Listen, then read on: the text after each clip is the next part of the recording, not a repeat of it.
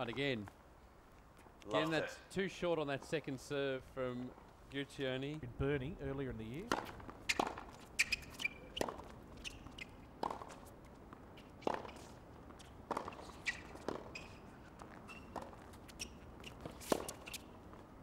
Again, too love. short on the approach. And Smith was there to gobble it up.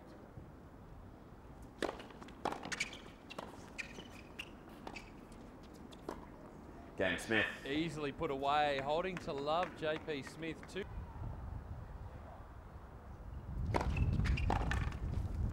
Game Guccione. Oh, terrific return. So break point for Smith. Big chance. Easily put away. Well played. There's the break. Six games to five. Smith leads six games to five. Come five. out and serve for this opening set. In two set points now for JP Smith. To take it to a tie break. Two set points. Exactly right.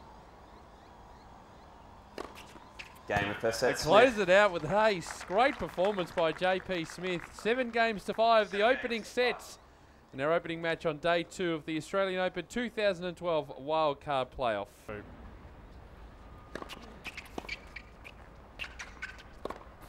Forty love. He's right there, the Gooch covering the net.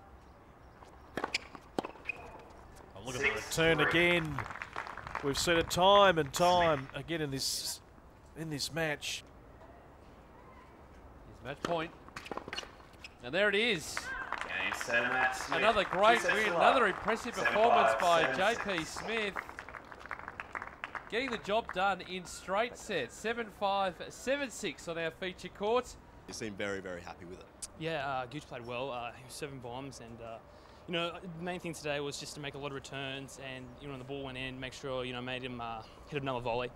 Um, it was tough out there just because uh, the balls were bouncing pretty high, and you know he has a lot of movement on his serve. So just try to take care of my service game, and then um, you know work on his.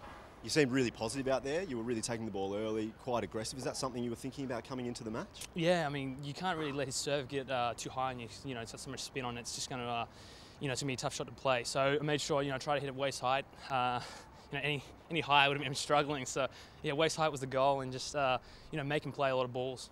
You've obviously played in America a lot in the college system. You haven't played these guys a hell of a lot. Is it quite different coming out here, Melbourne, outside courts? Is there a big difference between playing here? Yeah, I mean, if you look at the surface, it's uh, it's a little, it's a lot slower than it is in the US. So, and uh, you know, I haven't really seen many of these guys play, you know, for a few years now, just because I have been in the US. So, it's good to get that exposure and you know play some different people now and then. So, uh, you know, it's been, you know, Melbourne's holdout weather, you know, so it's been good. Something we've noticed is your fitness levels as well. You seem to be out there really comfortable. You can, you know, go five sets if need be. Is that something that's really important to you, working on your fitness? Um, it depends who I play in five sets, you know. Maybe five sets in this match, but uh, you know, it depends who, uh, you know, the game styles. But you know, um, yeah, but also obviously you got to be a fit tennis player. You know, today's uh, modern game, you know, the balls come back a lot of times, so you have to be willing to hit, you know, 10 to 12 balls. He's a Davis Cup player, and uh, you know, he probably didn't have a great day today. Um, you know, it's just like tennis always. So um, you know, you can't, uh, you know, just one match, and uh, you know, I'm sure he'll be ready for the summer. Good luck for your next match. Thank you. Thank you, Adrian. 7 5,